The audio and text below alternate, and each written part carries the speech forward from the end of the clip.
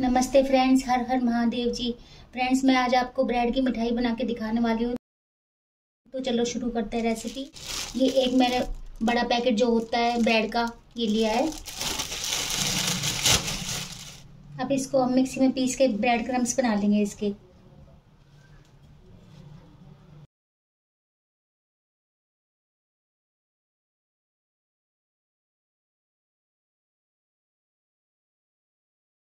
ये bread crumbs बन गए हैं। ऐसे पूरी ब्रेड के बना लेंगे हम।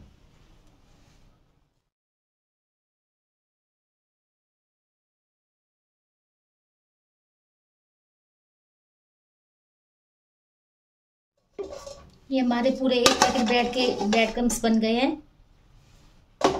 गैस का फ्लेम ऑन कर लेंगे। ये आधा लीटर दूध है मग्गे में, ये डाल देंगे।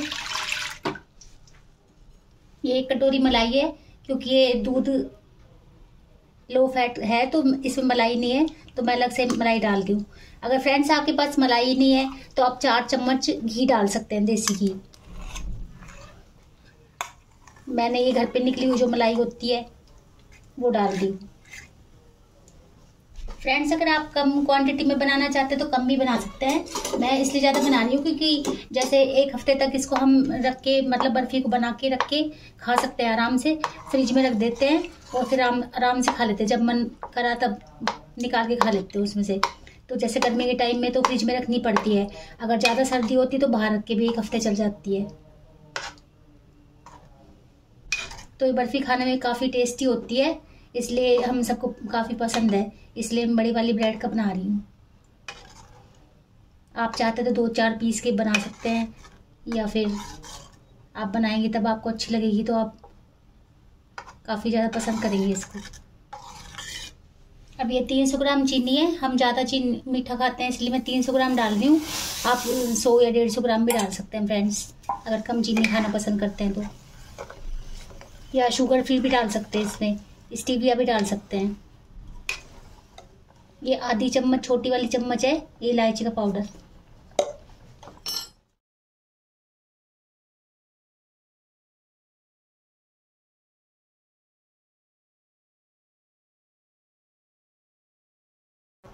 दूध पहले से उबला हुआ था, इसलिए मैंने बॉईल आने तक इंतज़ार नहीं किया फ्रेंड्स अगर आप कच्चा दूध ले रहे हैं तो बॉईल आने तक इंतज़ार करें। और फिर उसके बाद घी डाल सकते हैं अगर आपके पास मलाई नहीं है तो या मलाई है तो मलाई डाल सकते हैं। चीनी अच्छे से मिल गई है दूध के अंदर और मलाई भी मिल गई है अच्छे से। अब जो हमने ब्रेड ब्रेड के क्रम्स बनाए हैं, ये डाल देंगे इसमें।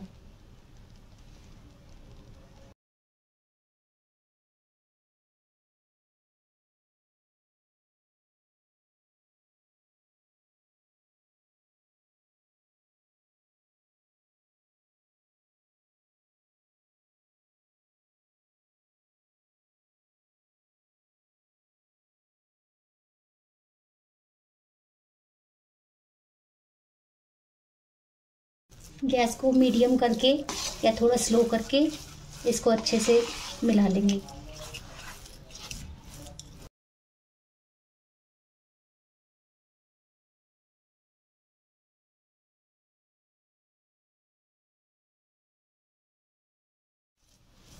पूरा अच्छे से मिक्स हो गया ये। गैस का फ्लेम बंद कर देंगे। एक फॉइल पेपर या बटर पेपर लेके थोड़ा सा घी से ग्रीसिंग कर लेंगे इसको।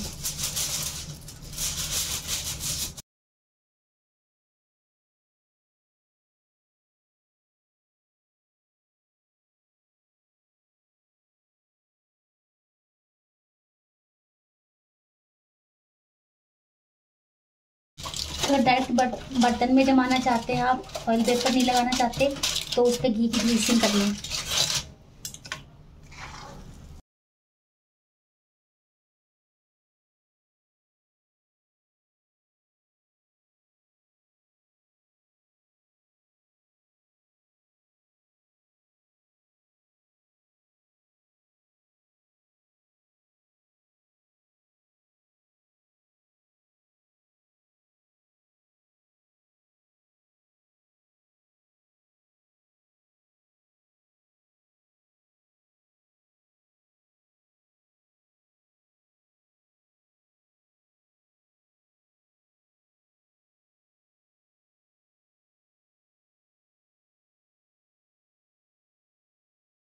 थोड़ा सा टैप टैप कर लेंगे ताकि अंदर तक अच्छी तरह से इवन तरह से जम जाए।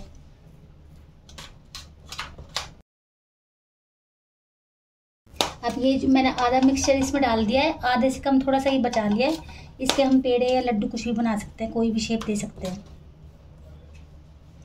टेस्ट इसका एक जैसा ही होता है।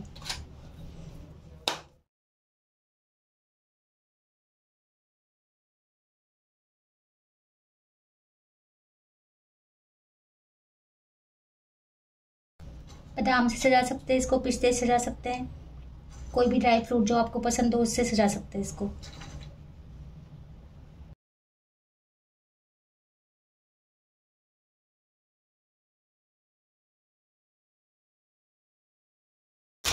ये हम सेट होने के लिए थोड़ी देर रख देंगे, फिर मैं पीसीस काट के दिखाती हूँ।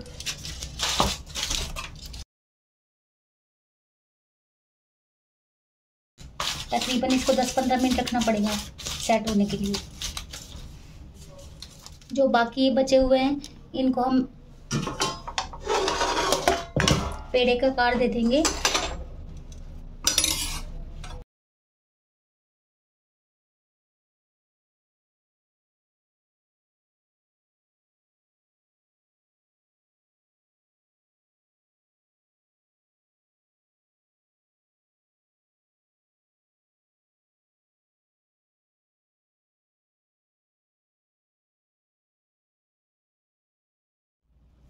अगर फ्रेंड्स आपके पास कोकोनट का जो पाउडर होता है, वो है डेसिकेटेड पाउडर तो आप वो भी डाल सकते हैं और भी टेस्टी बन जाएँगे। पर मेरे पास अभी नहीं है तो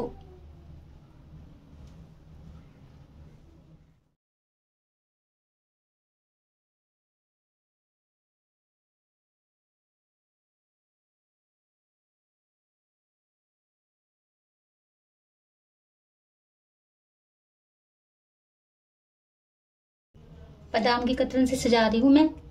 आप चाहें तो पिस्ता या काजू या कुछ भी लगा सकते हैं। कोई भी ड्राई फ्रूट जो आपको पसंद हो, वो लगा सकते हैं इस पर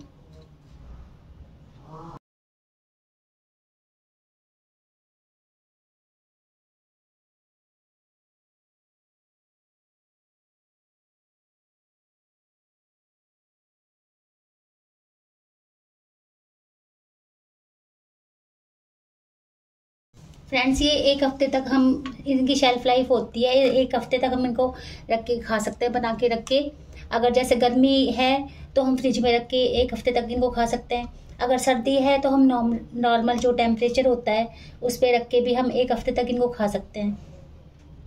तो एक तो हमारी ये पेड़ मिठाई बन गई ब्रेड से, और एक अभी मैंने बर्फ़ी जमाने के लिए रखी है, उसको दस पंद्रह मिनट बाद दिखाती हूँ मैं। पंद्रह मिनट हो गई फ्रेंड्स बर्फ़ी को सेट होने के लिए रखी थी मैंने।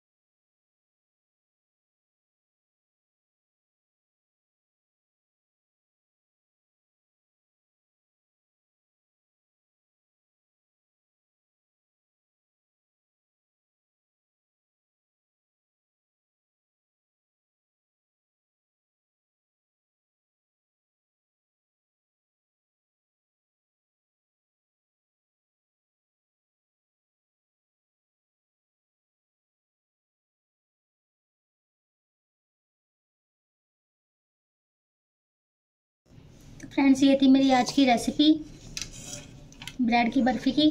अगर आपको अच्छी लगे तो प्लीज़ लाइक कर देना और मेरे चैनल को सब्सक्राइब कर लेना। और फ्रेंड्स आपने अपना कीमती टाइम निकाल के मेरी वीडियो को देखा। आपका उसके लिए बहुत बहुत धन्यवाद बहुत बहुत आभार। नमस्ते फ्रेंड्स हर हर महादेव जी।